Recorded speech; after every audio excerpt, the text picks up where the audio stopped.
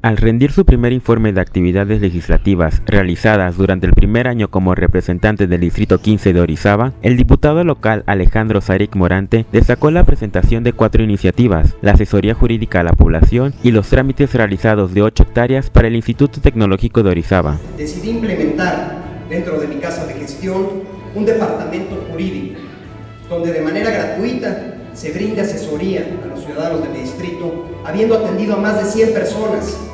y brindado un servicio de calidad y confianza a mis representados. El informe del diputado local se realizó en el Teatro Ignacio de la Llave, asistiendo diputados locales, federales y senadores de la República. Externó su agradecimiento a la confianza depositada en él por la ciudadanía, por lo cual reiteró su compromiso de seguir trabajando para lograr que los ajustes al marco jurídico del Estado mejoren la calidad de vida de los veracruzanos.